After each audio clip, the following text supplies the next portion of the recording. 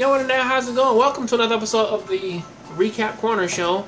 And Fairy Tail this week has actually done a lot of good and fun to actually kind of give us somebody who's actually who's possibly going to actually stand stand a chance against Rakid and virtually the only person who probably can stand up against him at this point point is in fact Sting because of course Sting is the light uh, is of course the light dragon slayer. So so all of his like pure uh, say purification magic and all that other shit most likely it won't even work on him because say because again light shit kind of energizes him.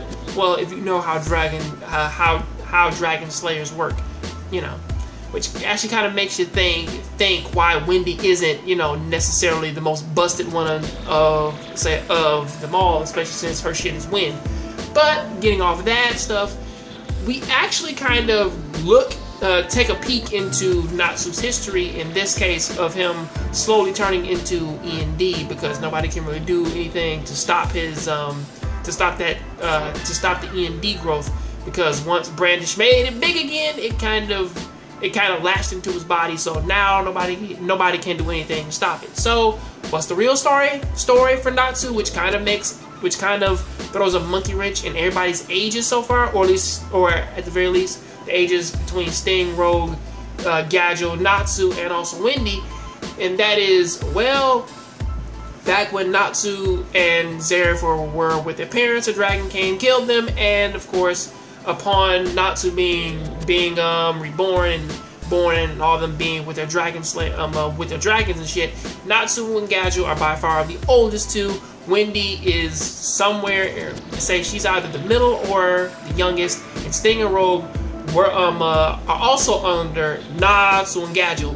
However, when they came came into the future, this kind of like raises a few fucking questions because again, you look at it and it's like, well, the only real reason why why this might be confusing is because well, it's a good chance that they all came to the future at very different different uh, at very different times because again Sting and Rogue are, or at least like that, that they seem as though that they're older than Natsu and Gajeel, especially since that they were frozen, uh, frozen for about seven years. So there's already that that little piece of information going on.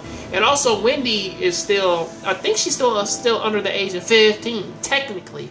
So you think about it, and it's like, well, well, either, uh, especially since she's possibly older, older than um, than both uh, them than both Sting and Rogue. Rogue, she's just like at she's just a 12 year old or some shit like that, or a 12, 15 year old or some shit like that. But either way, it's kind of slowly starting to kind of fix itself, or at the very least, we kind of have a combatant for for Rakid who isn't going to bust him.